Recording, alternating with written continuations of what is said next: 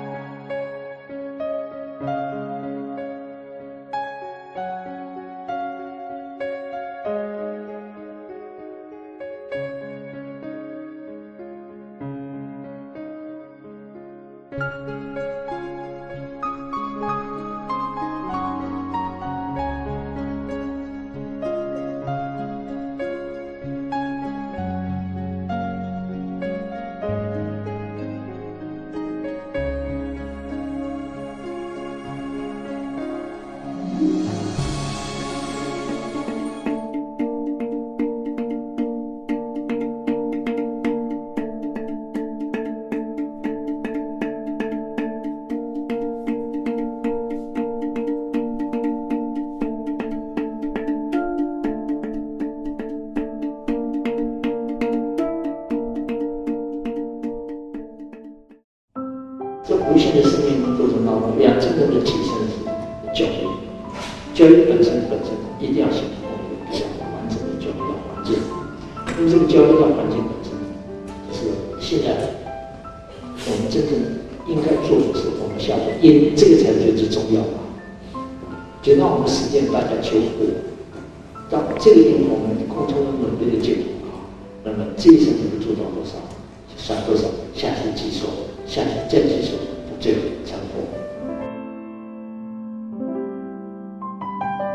怀着大悲的愿力，师父创立了福智教育园区，希望为教育点亮一盏明灯，为广论弟子打造一个增上生的学习环境。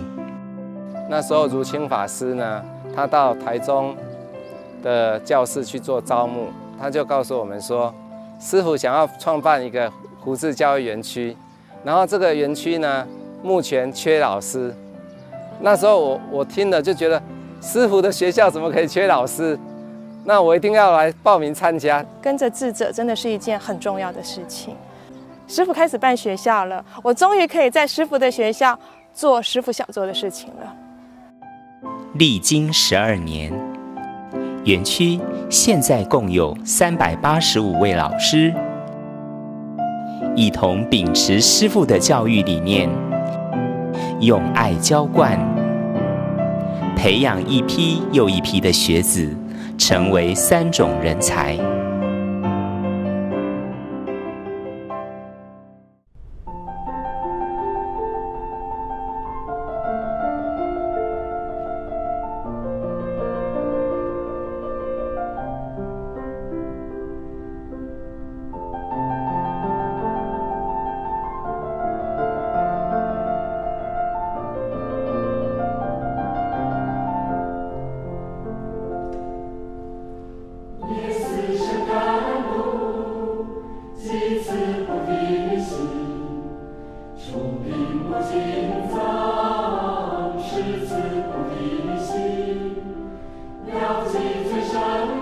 般的英才可能指的是高成就、很有才华。那园区的英才是什么呢？他们的学习态度太棒了。他们常常是在下课的时候，把你一圈一圈的围起来。里圈的孩子呢，就问你这个科目的学习方法。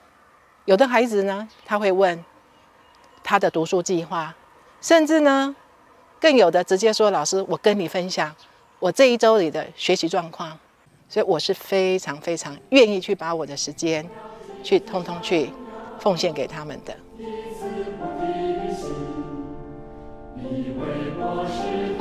那在跟这些孩子互动的过程当中，我常常有一种莫名的感动，就是会觉得他们的生命高度怎么可以这么高？他们的心灵为什么可以这么单纯？乃至于呢，他们那一种想要为别人付出的心这么的真切。世界上哪有一所学校的老师可以教到这样的学生呢？我觉得，如果不是上师三宝，怎么会有这么美好的礼物出现在我的生命里面？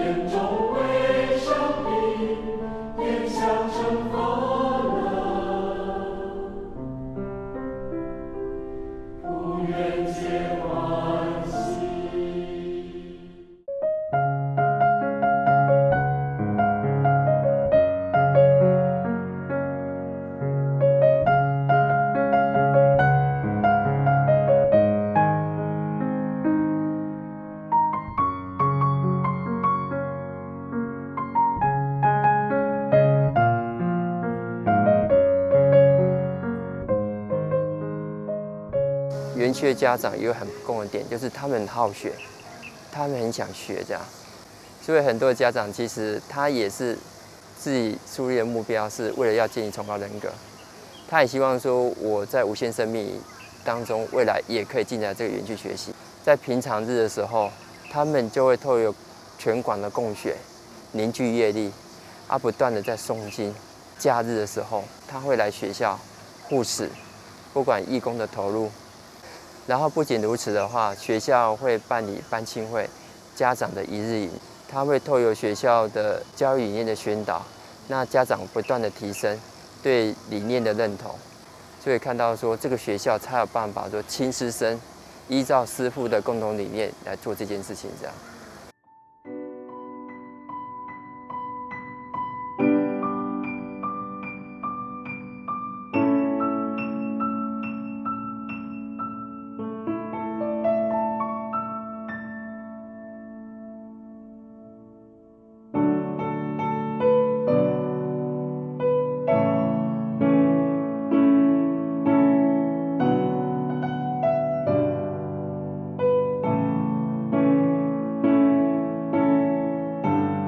在学生的身上，我们就看到一颗一颗种子种植在他们的心绪当中，他们不断的发芽，然后成长，啊，希望有一天就是能够达成师父的愿望，成为三种人才，然后可以兼爱天下，然后给社会带来一股清流。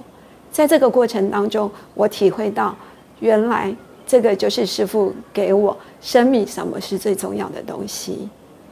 如果一个幼苗，一个正法的幼苗，透过我们携手一起去抚育它成长，是多么殊胜的一件事情。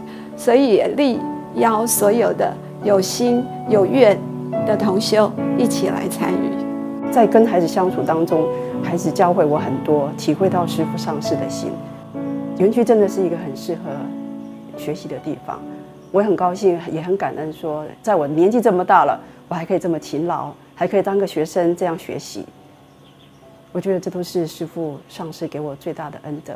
希望有更多的人来可以共享这个净土，可以来享受这种上师师父赐给我们这样的净土。这样子，生命遇到了师父，然后慢慢的一点一点的改变，真的很希望师父的心愿呢可以承办，就是这样美美好的教育，在各个的地方可以。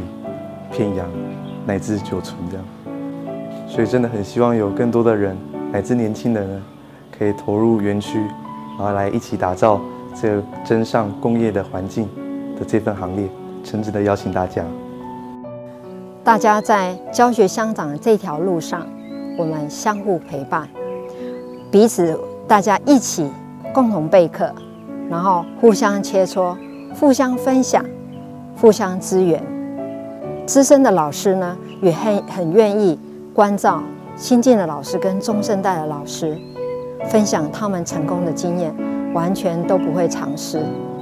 所以我觉得我们是一个非常温馨和乐的大家庭。那在这里呢，也非常诚恳邀请大家一起来加入这个温馨和乐的大家庭，为了我们的下一代的教育一起来打拼。